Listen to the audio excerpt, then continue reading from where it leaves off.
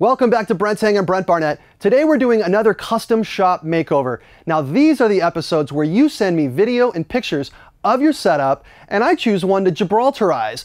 I show you how Gibraltar works with any brand, with any configuration, and creates the look that you need for your kit. For those of you that want to submit, please send all video and pictures to brentshang.gibraltar at gmail.com. So, the drummer that we are making over today is Nick D'Virgilio.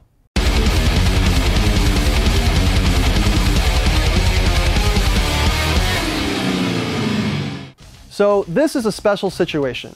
Nick is a friend of mine who works for Sweetwater Music, and he went out on a European tour with his band Big Big Train. He asked me to design him a custom rack.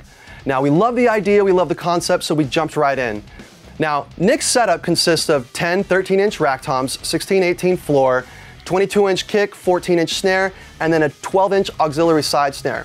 For cymbals, he's using four crashes, two chinas, two splashes, a ride, and hi-hats. Now when I asked Nick what he wanted, he said that he really loved the look of the stealth, the stealth rack. He wanted all the bars to be as low profile as he could possibly get them, but he still wanted to kind of make a statement because he's out on the road. So I chose to build him two custom side racks. Now I based it off of the stealth system because that's what he wanted.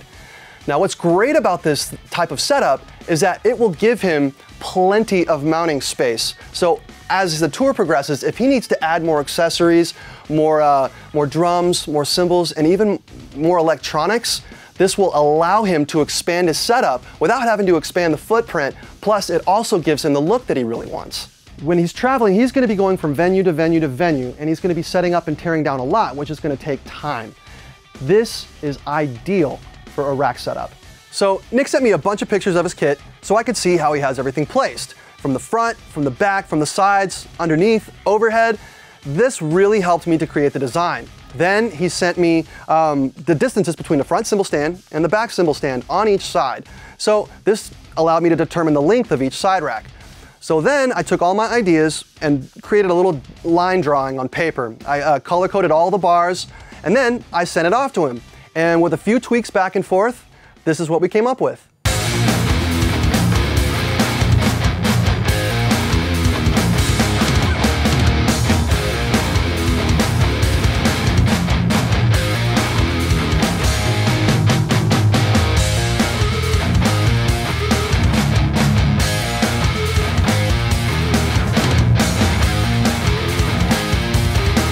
Gibraltar is an open system. It's not just clamps, tubes, connector joints, and cymbal arms.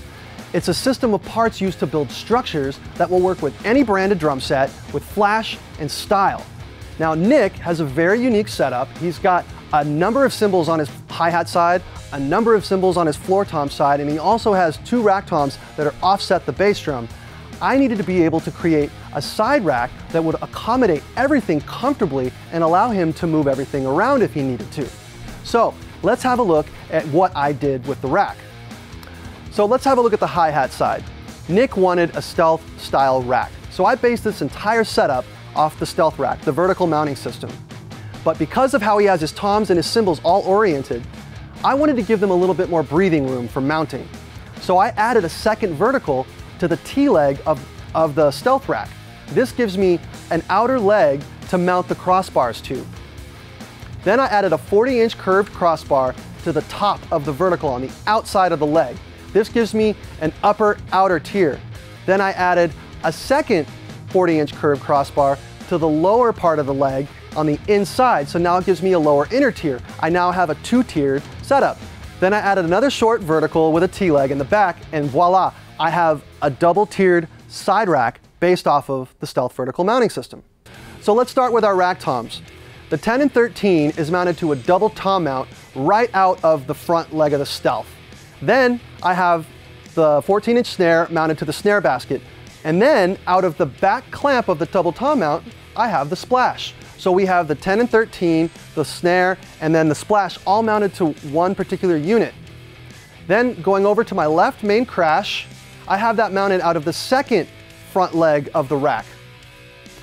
I needed to get a little bit more height, so I added a, an accessory shaft extender so I could extend it up and get, it, get the cymbal placed exactly where I wanted because everything is very low. Next, we have our second splash, and this is mounted to the top curved bar. Then we have our China, which is also mounted to the top curved bar, but I also needed this a little higher, so I added an accessory shaft extender. So then the effects crash is mounted directly out of the back leg of the rack, which leaves us with the hi-hat and the secondary snare. I'm using a no-leg hi-hat stand, connecting it to the, to the lower tier of the rack, which is actually closer to me. Then for the snare, I'm using a no-leg snare stand and I'm connecting it also to the lower tier of the rack. This puts everything within perfect reach of how he's gonna need it. So now let's move over to the floor tom side. The rack, I just duplicated what I had on the hi-hat side, but with one minor difference.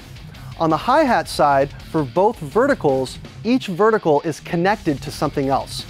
On the floor tom side, the vertical that's holding the ride cymbal isn't connected to anything but the T-leg. It needs additional support for when he's really laying into it. So we don't want it to sway back and forth like this. So I added a 12 inch bar with an adjustable T-clamp that rests and places right on the floor so that when he pounds on his ride, it doesn't sway this direction or that. Moving over to the right main crash, I have that mounted out of the second vertical in the front of the rack. Then we have our China that's mounted to the top crossbar I needed to get a little bit higher, so I used an accessory shaft extender to get the height that I needed.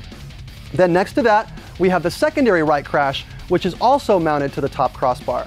Lastly, we have our mounted tambourine, which is mounted to the lower crossbar on the inside of the verticals. So here are the product highlights for this setup. We have the Stealth Vertical Mounting System, the GS VMS. We have the GSMP, which is a 14-inch mounting post, which are the legs for both side racks. 40 inch curve bar SC GPR 40C. Then we have the 9707 NLDP legless hi-hat stand, the SC EA100, which is the extension arm to connect the hi-hat stand to the rack. Then we have the 9706 NL, which is the legless snare stand that we connected to the lower tier of the left side. Then we have the SC78 ASE, which is the accessory shaft extender that's 7 8 inch in diameter. Well, that's it for this episode of Gibraltar's Custom Shop Makeover. Nick, thank you for letting me design your rig. I had a blast, and this is gonna be great for you out on the road. For those of you that wanna submit for the makeover, please send all videos and pictures to brentshang.gibraltar at gmail.com, and please leave a comment. Let us know what you thought of the makeover. Let us know if you have any ideas, because we learn a lot of our ideas from you. Send us pictures, we would love to see them. Visit our Instagram, Facebook, please we want to connect with you. So we'll see you next time. Thanks.